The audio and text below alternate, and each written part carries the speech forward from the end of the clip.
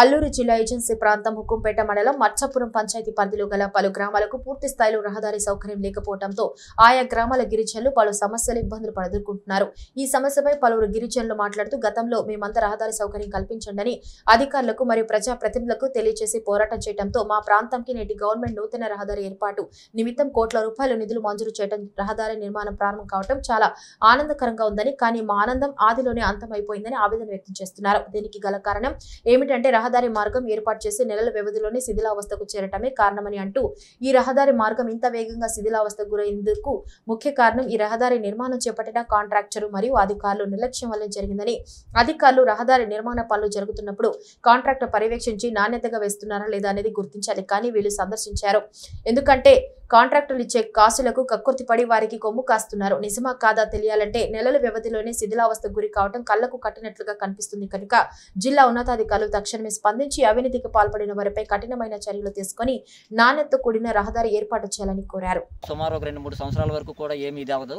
కాకపోతే నేడు ఈ ఇక్కడ ఉన్న అంటే ఏంటంటే ఈ రహదారి మార్గం చేపట్టిన కాంట్రాక్టర్ నిర్లక్ష్యం వల్లే జరిగిందని చెప్పని అంటున్నారు. అధికారులు కూడా దీనిపై స్పందించట్లేదండి. ఎందుకంటే వీళ్ళు వాళ్ళు కుమ్మక్కయ్య కుమ్మక్కయ్య అలా చేశారని చెప్పిన వాళ్ళు ఆరోపిస్తున్నారు. అలాగే పాపం వీళ్ళు బాధలు వర్ణానితం అంటే గతంలో కూడా శిశు మరణాలు కూడా జరిగాయండి. మేము కూడా హాస్పిటల్కి వెళ్ళాలంటే చాలా ఇబ్బందులు పడుతున్నాము. అలాగే మేము ఇక్కడ గిరిజన రైతులు పండించుకునే పంటలు సంతకు తీసుకెళ్ళి అమ్మాలన్నా సరే మేము మేము వెళ్ళలేకపోతున్నాం సార్. అసలు వర్షాకాలంలో అయితే నడిచే దారే లేక మేము ఇబ్బంది పడుతున్నామండి. ఇప్పుడు మేము ఈ రహదారి మార్గం ఇలా ఉండడం వల్ల ఇక్కడ నుంచి అంటే ప్రధాన రహదారికి వెళ్ళి అక్కడ ఏంటంటే ప్రధాన రహదారి అంటే తారు రోడ్డు వద్ద వరకు డోలిమాత మూసుకొని వెళ్ళి అక్కడి నుంచి మేము అక్కడి నుంచి మేము మా అంటే అంబులెన్స్ కానీ ఏదైనా సరే మేము ఇది అవుతున్నామని చెప్పని కూడా వాళ్ళు అంటున్నారు. నిజంగా చాలా బాధాకరమైన విషయం ఏంటంటే పని ప్రభుత్వం అంటే ఇక్కడనే కాదు అనేక ప్రాంతాల్లో కూడా ప్రభుత్వం అంటే గిరిజనులు ఇబ్బందులు పడుతున్నారు రహదారి మార్గాలు లేక వారు చాలా ఇబ్బందులు పడుతున్నారనే ఉద్దేశంతో రాష్ట్రం అంటే ఆర్థికంగా వెనకబడి ఉన్నప్పుడు కూడా నేటి గవర్నమెంటు నిధులు విడుదల చేస్తుంది. కానీ ఇక్కడ ఏంటంటే ఆ వచ్చిన నిధులను ఇక్కడున్న అధికారులు కాంట్రాక్టర్లు కుమ్మక్కై వాళ్ళు దోచుకోవడం తప్ప ఇక్కడ పూర్తి స్థాయిలో ఏ పని కూడా చేయట్లేదు అన్నది మనకు కనిపిస్తుంది ఇప్పటికైనా సరే మన మన ఏరియా అంటే మన ప్రాంతం గిరిజన ప్రాంతం జిల్లా అయింది కాబట్టి ఇక్కడ ఉన్నతాధికారులు ఇప్పుడు కలెక్టర్ గారు పీఓ గారు సబ్ కలెక్టర్ గారు అందరూ ఉన్నారు కాబట్టి వీళ్ళందరూ ఈ- సమస్యలపై దృష్టి సారించి పరిష్కారం చేయాలని చెప్పని వాళ్ళు కోరుతున్నారు.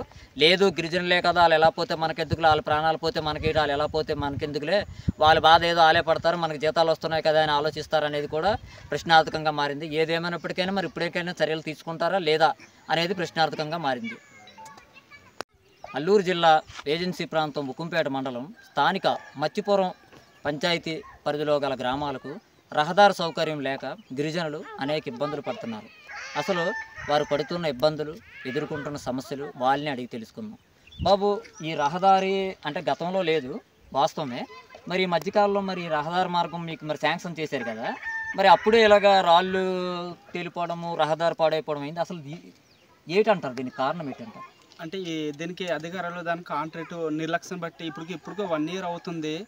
కానీ గొయ్యలు గుంతలు మొత్తం కొట్టుకొని పోయింది. అంబులెన్స్ వెళ్ళాలన్నా లేకపోతే వేరే వెహికల్ వెళ్ళాలన్నా చాలా ఇబ్బందిగా ఉంది. ఇది అధికారుల నుండి కానీ లేకపోతే కాంట్రాక్ట్ వాళ్ళ నుండి నిర్- నిర్లక్ష్యం బట్టి ఇబ్బందులుగా ఉంది. అంటే ఇప్పుడు మీరు అంటే అంటే మీకు బాగోలేదనుకో అంబులెన్స్ రావడా వచ్చే అవకాశాలు ఉన్నాయా ఈ ఏరియా రాదు. ఈ రోడ్డు బాగాలేదు కాబట్టి వచ్చే అవకాశం లేవండి. అక్కడ డోల్ నుండి సెంటర్కి మోసుకుంటూ వెళ్ళాలి. లేకపోతే ఆ గుంతలు ఇండివిజువల్గానే మాపుకుంటేనే అంబులెన్స్ వచ్చే అవకాశాలు ఉన్నాయి. ఈ రహదారి ఏర్పాటుకు మీరు ఎన్ని సంవత్సరాలు పోరాటం చేస్తే వచ్చింది? సుమారు రెండు మూడు సంవత్సరాలు పోరాటం చేసాము. అప్పుడు వచ్చింది. వచ్చిన తర్వాత కూడా నిర్లక్ష్యం బట్టి పర్ఫెక్ట్ జరగట్లేదు. కాదు. మరి ఇప్పుడు మీకు ఇక్కడ నుంచి అంటే మీరు వర్షం పడితే ఏమైనా అంటే పరిస్థితి ఏంటి? అంటే మీరు ఇప్పుడు సంతలకు వెళ్తుంటారు. అంటే గిరిజన రైతులు సంతలకి దినుసులై పట్టుకొని వెళ్ళాలా? మరి వర్షాకాలంలో అయితే ఎలాగ మరి మీ పరిస్థితి ఏంటి వర్షాకాలంలో? వర్ష వర్షాకాలం అంతే అసలు చెప్పుల నుండి నడు నడిచి వెళ్ళడానికి అవ్వదు. ఈ మొత్తం బురద బురదగా ఉంటుంది. దాంతో ఎక్కడో దారి నుండి పక్క నుండి మొత్తం బురదగా ఉంటుంది. బళ్ళు నడపడానికి చాలా ఇబ్బంది ఉంటుంది. ఇప్పుడు గ్రామస్తుల కథనం ప్రకారము మేము అనేక సంవత్సరాల బట్టి పోరాటాలు చేస్తే ఈ రహదారి మార్గం ఏర్పాటు చేయడం జరిగిందండి. కానీ ఈ రహదారి మార్గం ఏర్పాటు చేసిన అంటే స- నెలల్లోనే మీ మొత్తం అంతా కూడా మరమ్మతులు గురిందని చెప్పని అంటున్నారు. ఇప్పుడు మన విజువల్స్లో కూడా చూస్తున్నాము. అసలు ఏదేమైనప్పటికైనా సరే ఎంత వర్షం పడినా ఎంత ఇదైనా సరే కనీసం మెటల్ రోడ్